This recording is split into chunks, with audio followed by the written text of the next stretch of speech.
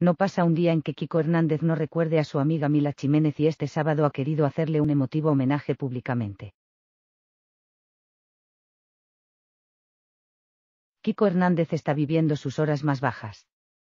El colaborador de televisión reconocía hace algunas semanas que la muerte de Mila Jiménez y después la de su amiga Begoña Sierra le habían sumido en una profunda tristeza. No puedo más, le reconocía Jorge Javier Vázquez con los ojos repletos de lágrimas minutos antes de iniciar un tiempo de descanso muy necesario para su salud mental. De vuelta al trabajo, Kiko Hernández no ha dudado en hacer público ese recuerdo diario que tiene a Mila Jiménez. A punto de cumplirse cinco meses de su partida, el colaborador todavía no puede imaginar su vida sin ella.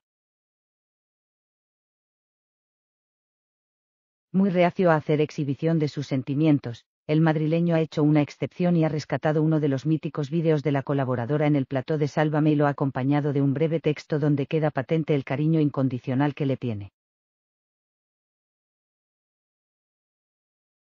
Quedaría porque todo fuera como antes quedaría por volver a abrazarte. Quedaría porque nunca dejes de mirarme.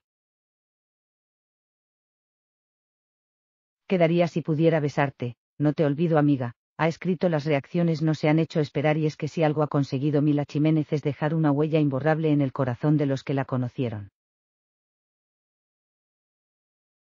Se la echa mucho de menos, ha escrito Kiko Rivera.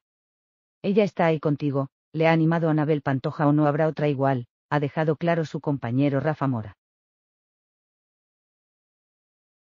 Kiko Hernández no es el único miembro del clan Sálvame que recuerda a diario a Mila Jiménez.